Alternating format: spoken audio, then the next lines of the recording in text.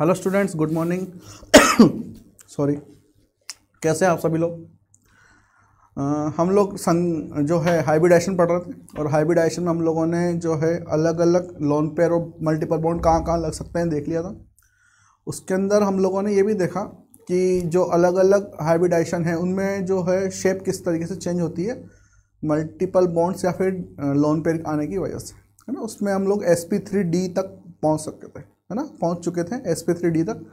आज जो है हम लोग देखेंगे s p three d two s p three d three हमारा हाइब्रिडाइजेशन खत्म फिर इसके बाद में एक टॉपिक रहेगा सबसे लास्ट में कराऊंगा हाइब्रिडाइजेशन इन सॉलिड स्टेट ठीक है वो आपका एडवांस का है तो सबसे लास्ट में कराऊंगा और इसके बाद हम लोग पढ़ेंगे next theory V E V S E P R theory जिसको हम लोग ग्लेस्पियर नाइहोम थ्योरी भी बोलते हैं ठीक है valence shell electron pair repulsion theory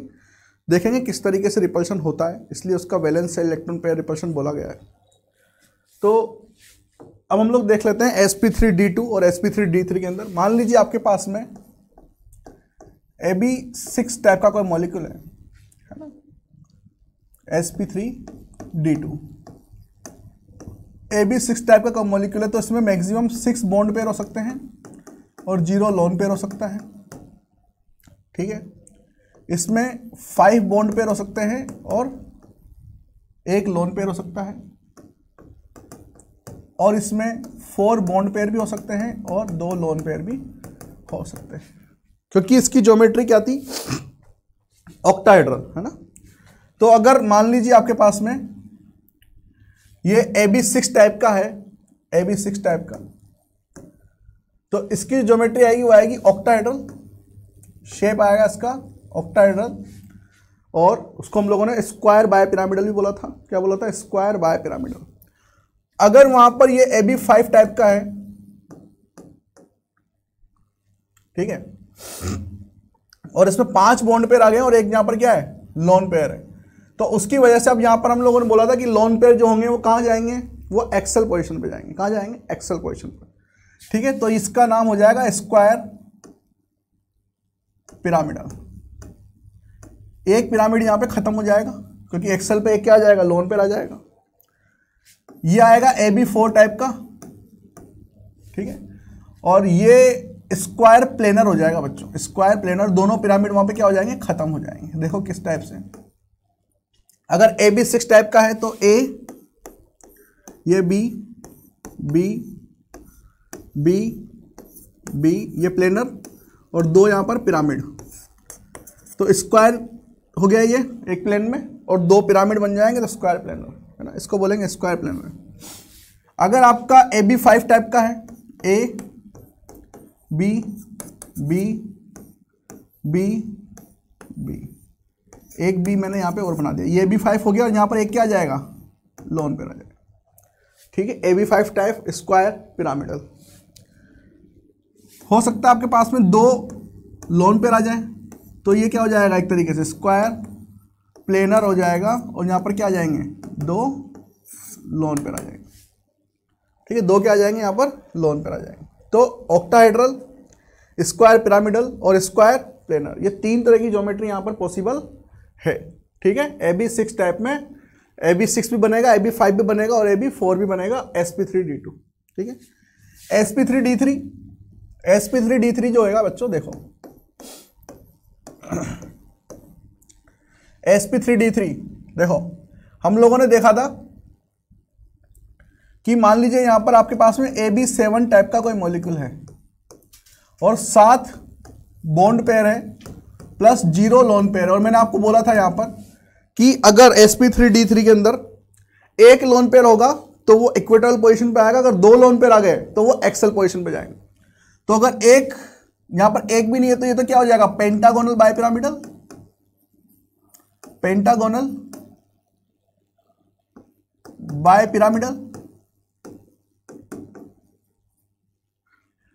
अगर यहां पर ये ए बी सिक्स बना एक लोन पेयर आया तो मतलब सिक्स बॉन्ड पेयर प्लस एक लोन पेयर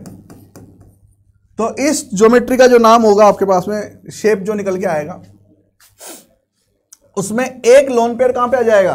एक लोन पेयर आ जाएगा इक्वेटोरियल पोजिशन पर तो वो एक तरीके से आपको स्क्वायर बना के देगा तो square by pyramidal square by pyramidal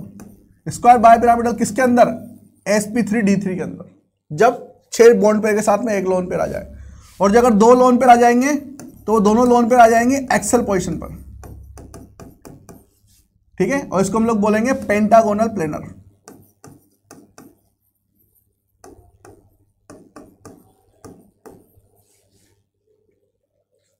ठीक है कैसे देखो A B seven A B B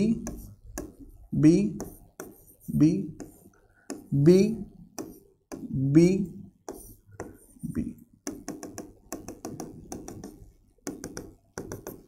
इस तरीके से ये रहा हमारे पास में पेंटागोनल बाय पिरामिडल अगर एक लोन पेयर है तो कहाँ जाएगा स्क्वायर पिरामिडल बनेगा एक लोन पेयर कहाँ जाएगा ये लोन पेयर ये लोन पेयर आएगा इक्वेटोरियल पोजिशन पर कल पढ़ा दिया था मैंने ये चीज़ है ना और ये दोनों लोन पेयर किस पर जाएंगे ये एक्सेल पोजिशन पर जाएंगे अगर एक लोन पेयर हो गया s p three d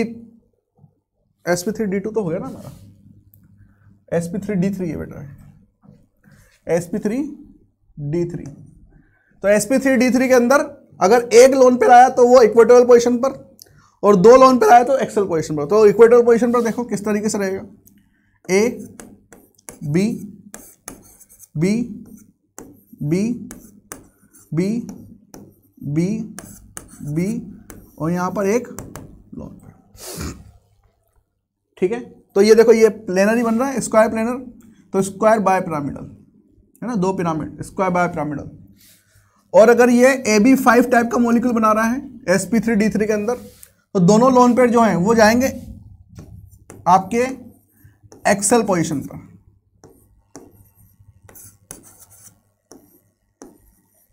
यहां पर लोन पेयर और यहां पर भी लोन पेयर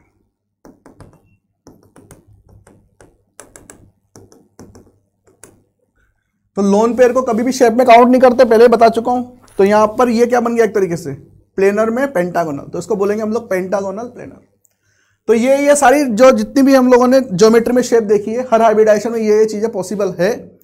तो आपको वो बना के देखनी है है ना और इसी के अकॉर्डिंग आपके क्या बनेंगे हाइब्रिडाइजेशन निकल कर आएंगे और अलग अलग मॉलिक्यूल में ज्योमेट्री अलग अलग हो सकती है लेकिन हाइब्रिडाइजेशन जो है वो भी अलग अलग हो सकता है ठीक है जैसे स्क्वायर बाय पिरामिडल वो s p three d two में बन रहा है वो s p three d three में बन रहा है है ना s p three d two में यहाँ पर स्क्वायर बाय पिरामिडल कब बन रहा है जब लोन पेयर जीरो हो s p three d two में है ना और s p three d t d three में कब बन रहा है जब एक लोन पेयर हो ठीक है तो ये ध्यान रखना कि कोई भी मॉलिक्यूल जो है सबसे पहले उसकी आपसे पूछा जाए इसकी ओरिजिनल शेप क्या होगी तो पहले हाइब्रिडाइशन निकाल दो उसका हाइब्रिडाइशन निकालने पर फिर ये देखो उसमें लोन पेयर है कि नहीं है है ना अगर लोन पेयर हैं तो फिर उस अकॉर्डिंग आपको जाना कि वहाँ पर जो शेप है वो किस टाइप की हो सकती है ठीक है तो ये था हमारा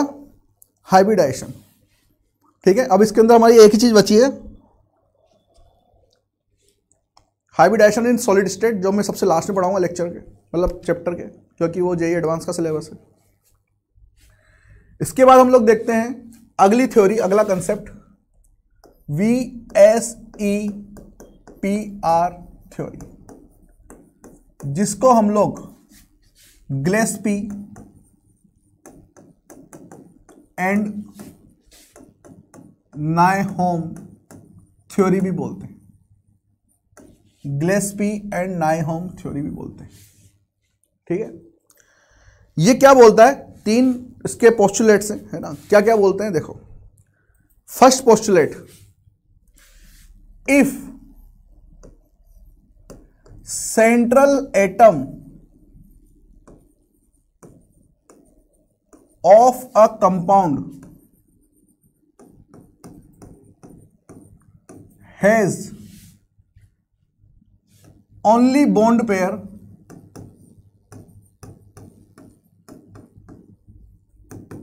electron and no lone pair electron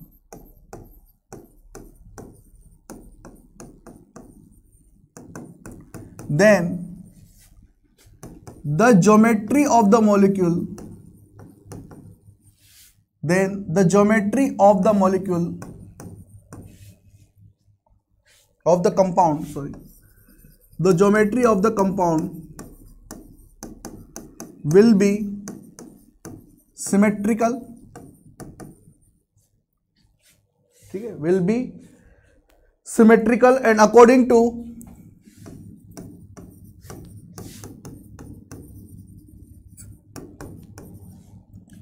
according to Sidgwick ये साइंटिस्ट है एंड पॉवेल ये जितनी भी ज्योमेट्रीज हमने देखी है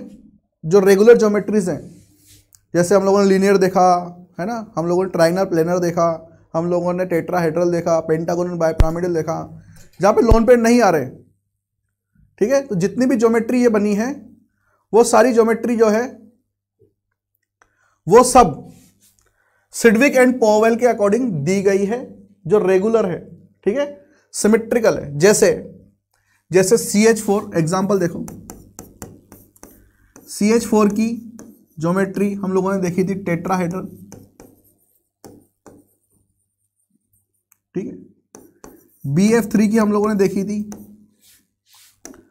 ट्राइगनल प्लेनर और सी ओ टू की हम लोगों ने देखी है प्लेनर ये सारी रेगुलर ज्योमेट्रीज हैं सिमेट्रिकल हैं क्योंकि इन सब में सिर्फ बॉन्ड पेयर के इलेक्ट्रॉन्स हैं अगर आपने इनकी शेप बनाई मैंने बना के दिखाई आपको इन सब की आप शेप बनाइए हाइब्रिडाइशन इसका एसपी थ्री है इसका एस पी टू इसका एसपी है है ना तो इन सब की जो ज्योमेट्री है इनमें कोई लोन पेयर नहीं है सिर्फ बॉन्ड पेयर के इलेक्ट्रॉन है और ऐसा होता है तो फिर जो आपकी ज्योमेट्री बनेगी वो सिमेट्रिकल बनेगी क्लियर आगे चले आगे है नेक्स्ट सेकंड पॉइंट यहां पर एक भी लोन पे इलेक्ट्रॉन नहीं अब हम लोग क्या लेंगे दूसरा पोस्टुलेट जिसमें bond pair as well as lone pair के इलेक्ट्रॉन आ जाए क्या आ जाए bond pair electron as well as lone pair के इलेक्ट्रॉन आ जाए है ना देखो क्या second point second postulate of R theory का if central atom of a molecule a compound has bond pair as well as lone pair electron then geometry of the molecule will be unsymmetrical will be unsymmetrical even even for same hybridization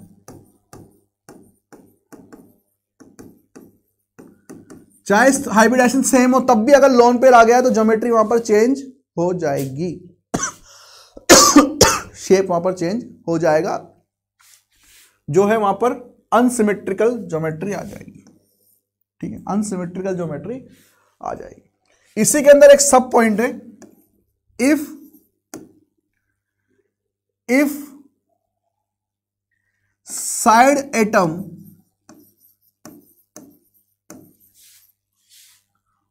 of a central atom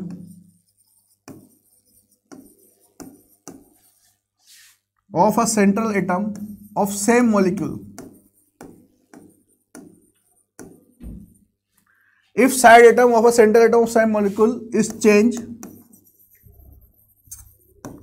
then geometry also unsymmetrical due to due to सबका मतलब बताऊंगा बेटा अभी due to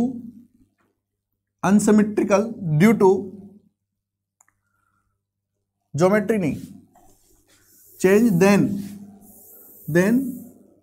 bond angle bond angle will also change will also change due to unequal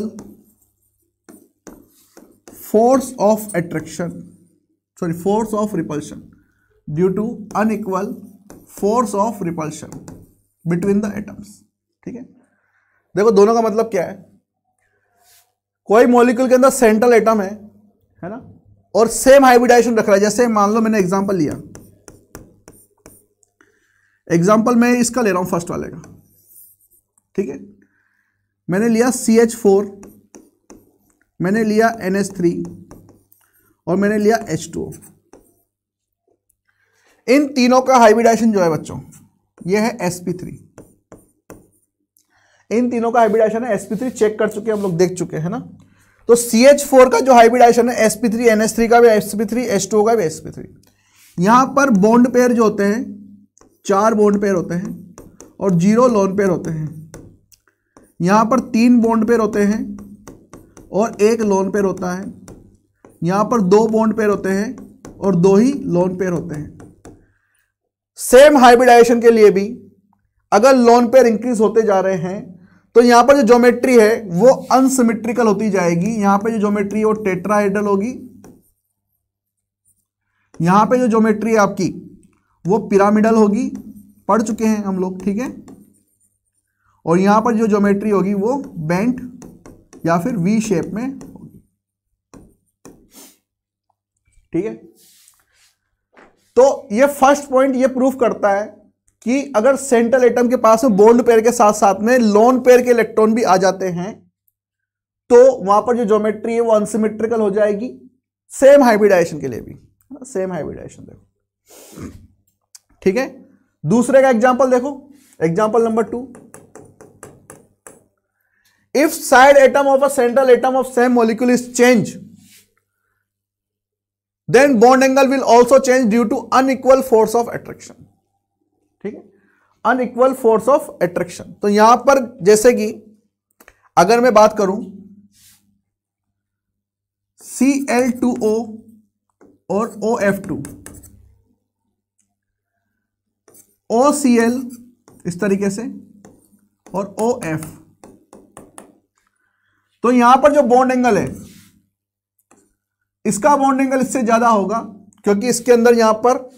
electronegative ज्यादा होगी और repulsion ज्यादा होगा ठीक है तो वो बात की बात है मैं आपको बताऊंगा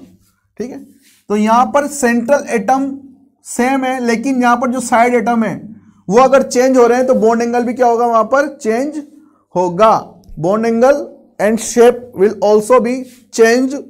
due to unequal force of repulsion और जो फोर्स ऑफ रिपल्शन आपके पास में लगेगा force of repulsion force of repulsion का जो ऑर्डर रहेगा वो ये रहेगा कि लोन पे लोन पे रिपल्शन सबसे ज्यादा होता है फिर lone pair bond pair repulsion होता है और सबसे कम होता है bond pair bond pair repulsion bond pair bond pair repulsion ठीक है और सेकेंड पॉइंट अगर आपके पास में number of lone pair increase हो रहे हैं नंबर ऑफ लोन पेयर जो है रिपल्शन इंक्रीज हो रहा है तो बॉन्ड एंगल जो है वो डिक्रीज होगा तो बॉन्ड एंगल जो है वो इन्वर्सली प्रोपोर्शनल टू है किसके number of elect number of lone pair repulsion के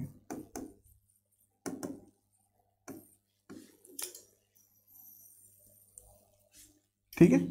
ये जो है इनमें रिलेशन है कि जैसे जैसे नंबर ऑफ रिपल्शन बढ़ता जाएगा लोन पेयर बढ़ते जाएंगे वैसे बॉन्ड एंगल डिक्रीज होता जाएगा कंडीशन है वहां पर सेंट्रल एटम सेम होना चाहिए साइड एटम डिफरेंट होना चाहिए थर्ड पॉइंट यह है कि अगर आपके पास में एक जैसा हाइब्रिडाइशन है है ना हाइब्रिडाइशन सेम है और उनके अंदर अगर लोन पेयर एक लोन पेयर भी इंक्रीज हो रहा है तो बॉन्ड एंगल जो है 2.5 से लगभग अप्रोक्सीमेट 2.5 से क्या हो जाएगा डिक्रीज हो जाएगा बाय इंक्रीजिंग थर्ड पॉइंट है by increasing one lone pair of electron increased by increasing one lone pair of electron the bond angle will decreased by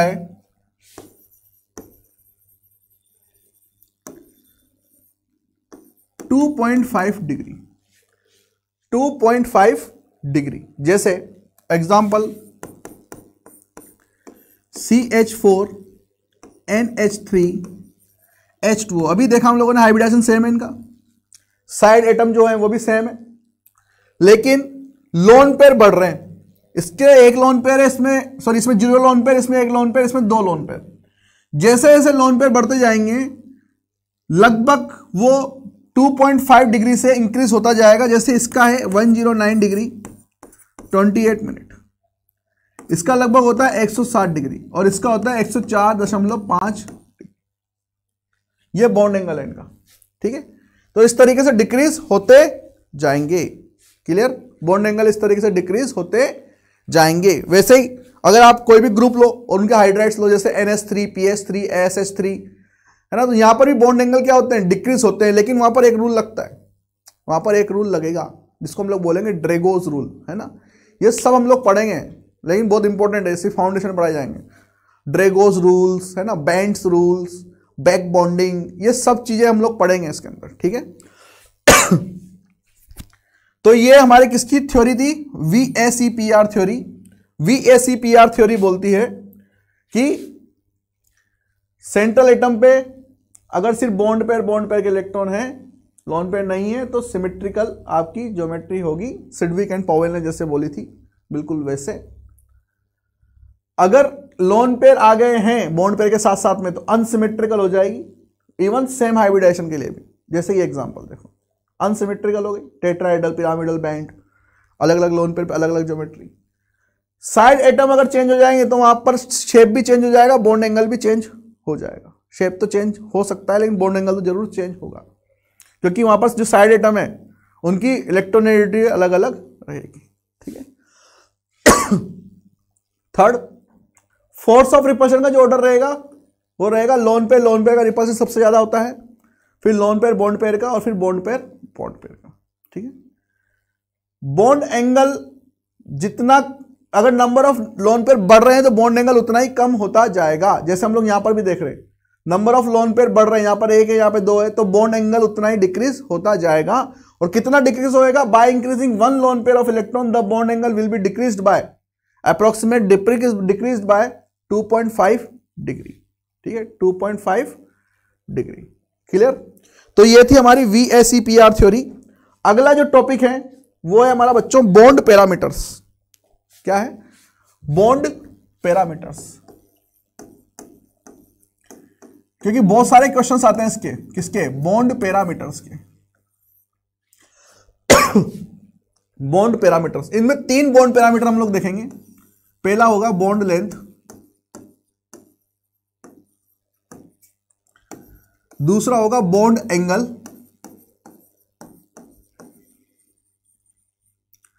और तीसरा होगा हमारा बॉन्ड एनर्जी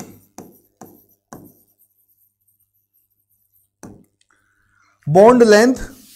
किस तरीके से डिसाइड होती है किसी भी मॉलिक्यूल की bond energy bond sorry bond angle है ये बॉन्ड एंगल और बॉन्ड एनर्जी ये तीन बॉन्ड पैरामीटर्स हम लोग पढ़ेंगे जब भी हमारा अगला लेक्चर आएगा एक एक करके देखेंगे बॉन्ड लेंथ बॉन्ड एंगल बहुत इंपॉर्टेंट है बेटा वेरी वेरी इंपॉर्टेंट क्यों क्योंकि यहां पर हम लोग अलग अलग टाइप के क्वेश्चन पढ़ेंगे यहां पर हम लोग ड्रेगोज रूल भी पढ़ेंगे यहां पर हम लोग बैंड रूल भी पढ़ेंगे ठीक है बॉन्ड एनर्जी भी उतनी इंपॉर्टेंट है लेकिन ये हम लोग पहले भी पढ़ चुके हैं बॉन्ड लेंथ और बॉन्ड एनर्जी ठीक है पीरियोडिक टेबल में बॉन्ड एंगल में ये दो रूल हमें पढ़ने बहुत ज़रूरी है यहाँ से क्वेश्चन आते हैं जेई और नीट में जो है यहाँ से हर दो साल तीन साल में एक क्वेश्चन आता ही है हो सकता है रेगुलर भी हो जाए ठीक है बहुत इंपॉर्टेंट है क्लियर क्योंकि अब तो ऑनलाइन होते हैं जेई e के पेपर तो किसी ना किसी स्लॉट में धर ही जाता है ये क्वेश्चन ड्रेगोज रूल और बैंट रूल का क्वेश्चन ठीक है बहुत इंपॉर्टेंट है बॉन्ड पैरामीटर्स हम लोग जो नेक्स्ट लेक्चर रहेगा उसमें बॉन्ड पैरामीटर स्टार्ट करेंगे आप लोग हमारे साथ बने रहिए थैंक यू वेरी मच अगले लेक्चर में मिलते बाय